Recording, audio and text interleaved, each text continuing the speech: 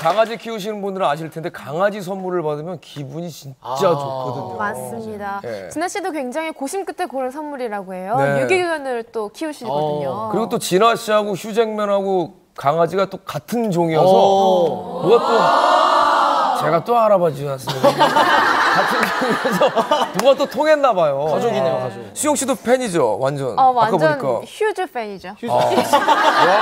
그러면은 휴잭맨의 휴즈 팬. 아, 라임이 되는데요. 그러면은 혹시 보고 계실지 모르니까 어, 진짜요? 언젠가 우리 꼭 만나요. 이렇게 한번 한마디 어, 좀 영어로. 언젠가. 글로벌하게.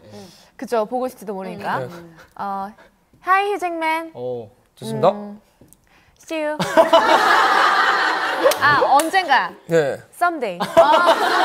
정말 영어 참 잘하시네요. 핵심 핵심 영어. 뭐야?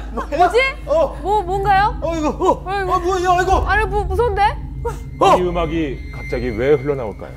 듣는 순간 소름이 돋고 머리카락이 쭈뼛 서는 연예계의 오싹한 이야기를 지금 시작합니다.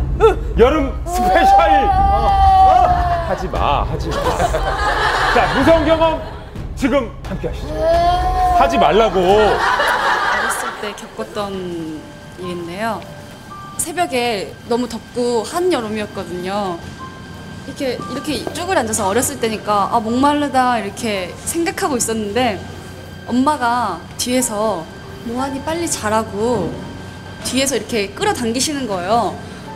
근데 이상하게 되게 소름이 돋는 돋는 그런 느낌이었어요. 그래서 침에 자고 딱 눈을 떴는데 보니까 엄마랑 아빠가 없는 거예요. 알고 보니까 엄마랑 아빠가 상가집에 갔다 오- 오셨고 저는 그날 밤 혼자 잠을 잤어요. 아직도 그걸 모르겠어요. 맥박이 빨라지고 간담이 서늘해집니다. 더위에 지친 감각을 자극할 아찔할 시간.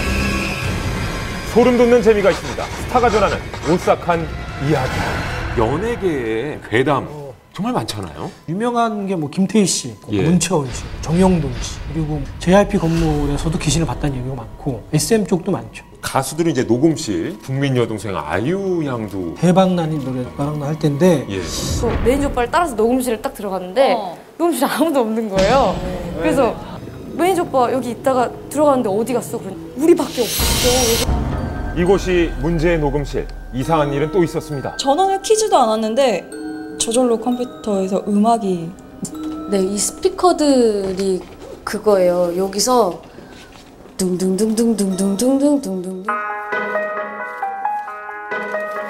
경배동 쪽에 저희가 숙소에 살았었는데 그 남자 귀신이 아이유 이사하기 전에 맨날 봤던 귀신이라고 딱 하는 거예요. 아이유 씨 앨범에 혼자 있는 방이라는 가사가 그 귀신 얘기라는 것도 있어요. 소리도 없이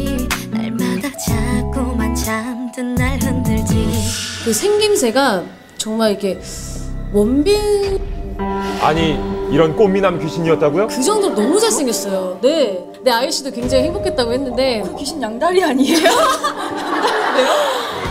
자, 그럼 한 번쯤 보고픈 비주얼 귀신 누가 있을까요? 5위. 이보다 상큼한 귀신은 없습니다. lovely 신민아. 4위. 무서운 그녀의 반전 실체. 지고 보니 제 스타일이네요. 데이비 체이스. 이 친구라면 괜찮죠. 세상 가장 귀여운 꼬마 유령 캐스퍼. 보기만 해도 매혹되는 청순미녀 왕조연이 2위입니다. 그리고 1위는 단역 시절 귀신역. 지금은 귀신 잡는 해병대 출신 현빈. 그 영화 4인용 식탁이라고 있었어요. 영화 초반부에 지하철이 이렇게 지나가는 부분에 원래는 애들만 나오는 장면인데 이상한 아저씨가 찍혀 있다는 거예요. 여러분 혹시 발견하셨습니까? 비어 있어야 할 지하철에 언뜻 보이는 패딩 입은 남자의 형체. 어. 그때 시사회 봤던 여성 관객분은 너무 놀라서 3주 동안 입원을 하기로 했었어요. 실제로 이승환 씨 같은 경우도 왜? 이승환 씨의 뮤직비디오에도 어, 묘령의 기억나요, 여인이 기억나요. 등장해서 화제가 됐었죠. 위조냐 뭐 이게 뭐 사실이냐 뭐 되게 논란이 많았는데 이승환 씨는 지금도 그게 귀신이라고 믿고 계세요. 실화를 바탕으로 한 영화 실미도. 실제 촬영지 실미도에서도 미스터리한 일들이 많았습니다. 폰카로 이제 셀카를 찍었는데 그 뒤에 제 뒤에 묘한 형체의 이 창 틀에 그 사람의 형태 같은 게 찍힌 적이 있었어요. 세트 용으로 만들어 놓은 가짜 창이지 거기는 도저히 사람의 형체가 그림자로라도 있을 수 없는 창인데 그렇게 찍혀 있더라고요 사진에. 특히 공포 영화에 이런 경우가